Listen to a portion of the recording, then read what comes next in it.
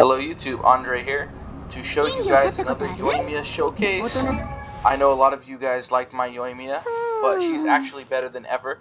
We increased her artifacts a little bit, so still rocking the 4-piece Shimenawa set, but our crit ratio is 74 and 2 10.9, so our crit ratio is even better.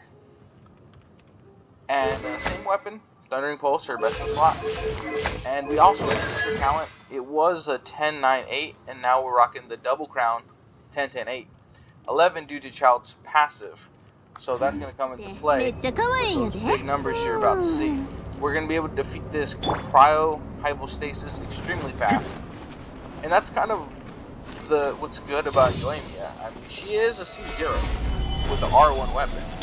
But regardless, we're gonna be able to destroy the type extremely fast. Correct timing. You know, not. I don't know if one is correct You kill it extremely fast. And that's that's the utility that, that Yoimiya brings. Is the extremely extremely easy boss.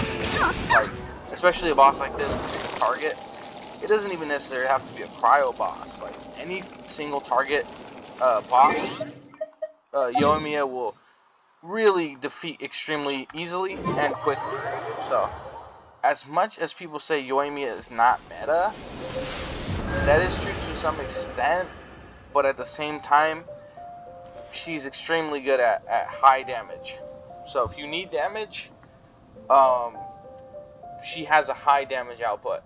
So, just a little bit of a showcase for everybody. Uh, thank you so very much for all the new subscribers, all the new viewers. If you would please just continue to show support, it's much appreciated. So if you